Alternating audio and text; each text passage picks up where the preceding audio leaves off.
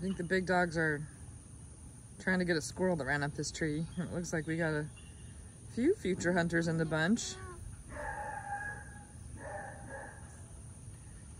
Usually they're kind of afraid of the dogs, the big dogs barking, but I think they're learning the difference between the sound the alarm bark and there's something really cool going on over here bark, which is good.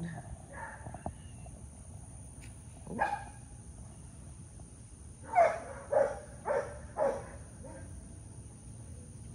almost punch, you almost made it.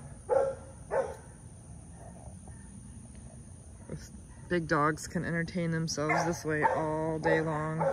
Benefit of living in a yard that kind of looks like a park with all these big oak trees and all the nuts that they produce is the squirrels are everywhere.